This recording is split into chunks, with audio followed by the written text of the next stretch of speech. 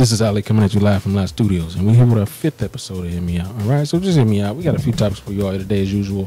Um, today's episode is a continuation from the last episode, protesting the pandemic. So we're gonna kind of keep it going. Um, last episode was talking more about the problems. This episode is all about solutions.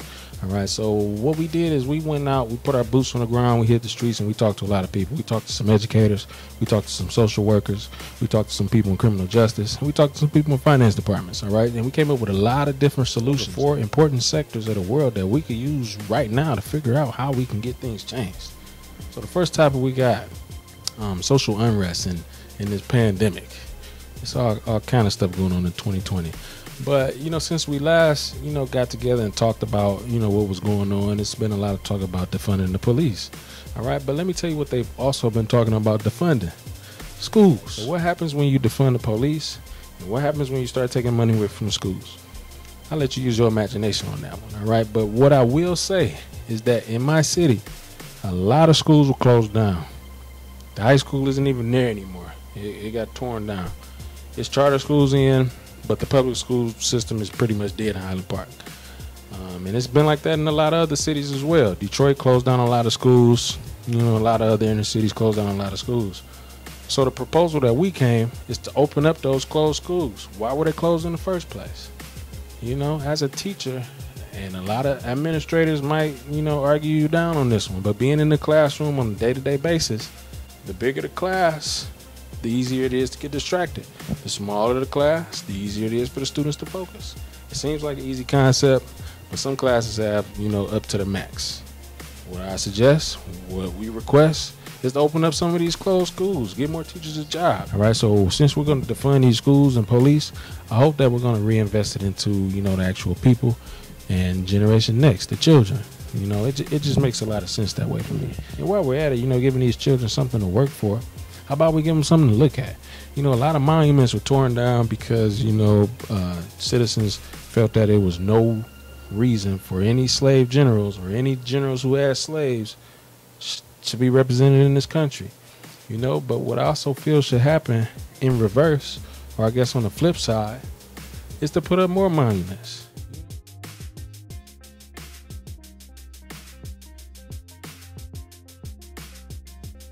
Another thing I really want to talk about is something that we never ran from. Colin's sacrifice, Colin Kaepernick. Um, four years later, he was right. He was right. What, why was he right? What did he do? Well, he didn't take a knee for the flag. He didn't take a knee for the national anthem. We know that much. What he took a knee for was that he felt too many black people were dying at the hands of police and they were unarmed. Hmm. Fast forward four years later, what's going on? Oh, it's a lot of protests because too many black men are dying unarmed to the police. So when stuff like that happens, it really makes you wonder what else could be an issue. What else is wrong with the world that we missing if we just miss something as blatant as that? Because mind you, this this issue didn't start four years ago with Kaepernick. It didn't start May 25th when George Floyd died. This started over 400 years ago. All right, because like we said in the last issue, wrote a clip. Let's look at the history of police or policing black people, I should say. Again, I'm only speaking from the black perspective because, you know, I'm a black man here in America. So let's look at the history of police in America towards black people. They started as slave catchers, all right? So they were catching people who they call runaway slaves. Running away from what? Something that you were brought to against your will so that was the initial law that they said black people here in America were breaking. So if that's the stain, that's the initial stain, the first scar, we got to heal that scar before we just put a band aid over it. Because this is what happens we get a cut. So it didn't just start with George Floyd. It didn't just start four years ago when Colin took his knee. This is a 400 plus year old problem, all right? And it really makes you think what other problems do we have that's equally as old or close to it? And then I got to digging. And you know what I found? I found something very disturbing. Something that I actually already knew about, but it was so in the back of my mind that I no longer thought about it. I thought just because, and I'm gonna give you a little hint. I thought just because Native Americans uh, had the, the casino money, I thought everything was fine. I'm like, oh, they getting money from the casinos, they're fine. No. So what I'm saying is that it's a lot of history that happened in this country that we're not dealing with. Oh, I did. I, I missed that part of history. Could you could you remind me? Oh, sure, yeah. Well, uh, European settlers got off the boat. It was some people here, some very friendly people, Native Americans. Um, they pretty much robbed them, uh, gave them disease, abused their women, children, the men. And then they sent them west. Go ahead to Oklahoma. We got some reservations for you. All right, but when we talk to those social workers, what we find out is a lot of those reservations uh, look worse than third world countries. A lot of them. All right, and that's how we're doing the founders of the land that I'm standing in right now.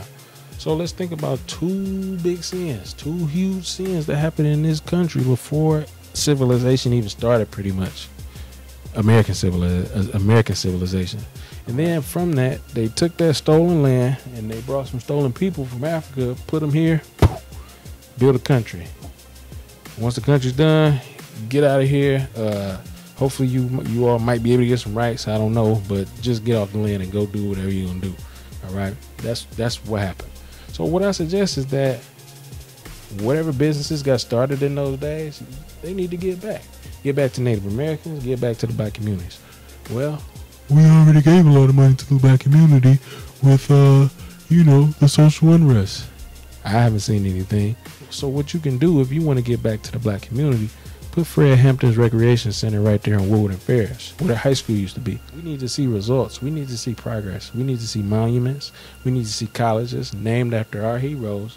And then we got a bunch of other demands that we're going to talk to you That's about. all I got for now. We're going to go ahead and start the next segment. It's going to be a lot different than previous episodes because part two, we're going to switch it up for you for, you know, E5. All right, so stay tuned. Stay with us. We're coming right back. Peace.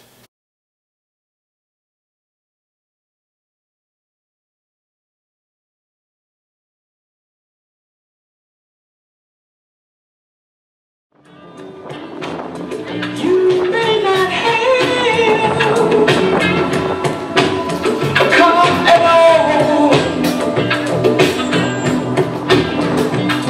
yo, yo, yo, yo. How y'all doing? No, we are live right now. Y'all gotta be louder than that. How y'all doing? First thing I want to say is, I love all y'all. From my mouth to your ears, don't let nobody tell you different. I love y'all and I'm standing there for all of us. That's right. Have you back, man. God has put this in my lap from losing my brother. But as a black man, I understand that it's bigger than me. And I understand my whole life. I've, I've told every race that I love them and mean it because every racist told me that and I believe it. That's right. That's right. So I've always lived I've always lived that way. And I'm standing for us all. Love for all who have love for all. The reason why we making so much noise and the reason why they listening right now, y'all, is because we all stand together and love is pushing out hate. You can't be racist and not be exploited no more. You can't be racist and hide behind Instagram no more. You can't be racist and hide behind Facebook and hide behind a post on a fake page. And that's, that's thanks to you guys. Because we're doing this together. We, we holding everybody accountable. And now is the time. Now is the time. Don't wait until it's your brother or your son dead in the streets over some senseless violence. Yes, Don't wait till it's your cousin or your friend's best friend laying in the street, dead, murdered by police, and they trying to and they trying to cover it up and make it make like make it make sense by bringing up his past. Right. We all have a past. Right. Right. Raise your hand if you perfect. No hands. I want y'all to look around. Raise your hand if you perfect. Your heart might be perfect. So I'll take that. I'll take that. But I appreciate all y'all coming out because what a lot of people don't understand is we've been going state to state. Standing for something bigger than all of us. And a lot of people coming around for photo ops. But a lot of people not realizing we really lost somebody. This is my real pain. This is my real tears. That was the closest thing I have to a twin you seen get murdered for the world to see. So this is not a photo op for me. This is personal. And I'm standing here, fight for equality, fight for justice for us all, so it won't be you standing up here asking people to stay with you.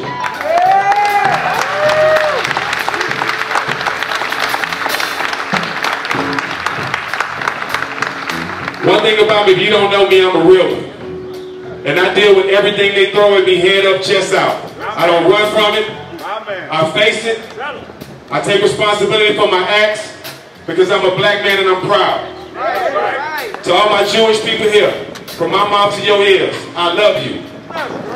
One thing about it, and this is what y'all don't know, as a black man with no college degree, I got the world following me. 18 countries, 50 states. They're threatened by that. Because we stand for love. Because love is pushing hate out. So don't let you don't let them tell you nothing different. Don't let them don't let them try to control the narrative and tell y'all something different. They're trying to take attention off the moment we have right now because see us standing together, they see us making noise, and they see love is pushing out hate.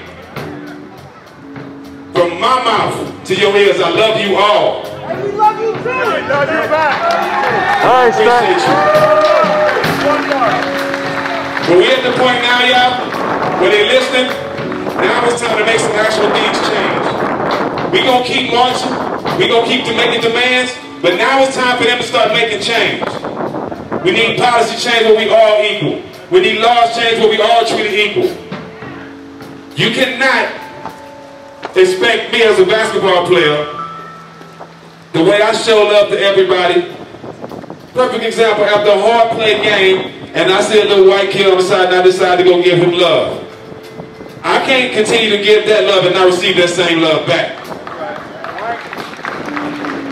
And that's not asking for nothing. That's how we should live. It's common sense. Common sense is not common no more, world. Just treat people how you want to be treated. And one thing about it, well, I can stand up here proud and say I love all y'all and I'm standing for all y'all because they cannot attack my resume in no way, shape, or form. You Google Stephen Jackson, you might see a heart. You might not see nothing about basketball because today what I'm standing for, I want to be known for changing lives and changing this world. Fuck basketball.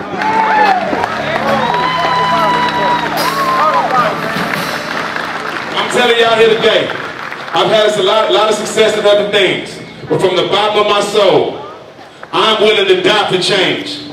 I'm putting my life behind this for every race, for every soul out here. Going to Minnesota, when my brother was first murdered, what they didn't know was he had a, he had a brother in the NBA that had one of the biggest podcasts in the world that was going to use his voice in the right way. They didn't know that. They didn't expect that. They thought it was going to be another murder they swept under the rug. But it's a new day. It's a new day. And while I was there, speaking up for my brother, I met at least 10 moms with no Stephen Jackson to speak up for their kids that was murdered by police. And all I could see, all I could get from them was their pain and their tears. I'm not Superman, but I feel it's my duty to be their voice. I feel it's my duty to, to, to, to be the voice for the mothers that don't have a Stephen Jackson to speak up for them.